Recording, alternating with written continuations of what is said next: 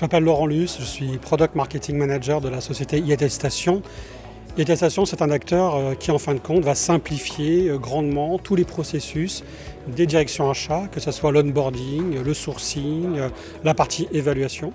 Et ça sur plusieurs enjeux qui aujourd'hui animent les acheteurs et qui vont encore les animer sur l'année prochaine par exemple, euh, les documents légaux, la partie cyber, euh, l'évaluation du risque financier. Ça, c'est la partie un petit peu legacy hein, de ce métier.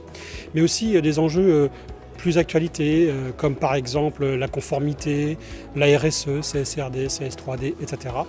Et puis la partie droit humain, qui est aussi importante pour que les acheteurs puissent identifier auprès de leurs sous-traitants de rang 1, mais également supérieur, en fin de compte, quel est le niveau d'engagement de ces euh, partenaires dans ces différents enjeux. Alors ce qu'on fait, c'est relativement euh, euh, à forte valeur, puisque on va totalement automatiser les processus automatiques, mettre en place les questionnaires, les formulaires, en fin de compte, créer totalement un parcours autour de ces enjeux qui vont automatiser l'ensemble des tâches, des processus autour de ces, de ces thèmes importants. Les résultats, c'est quoi? Ce sont des indicateurs, des notes, des scores, des informations automatiques, des processus de validation pour en fin de compte raccourcir grandement euh, toutes ces étapes.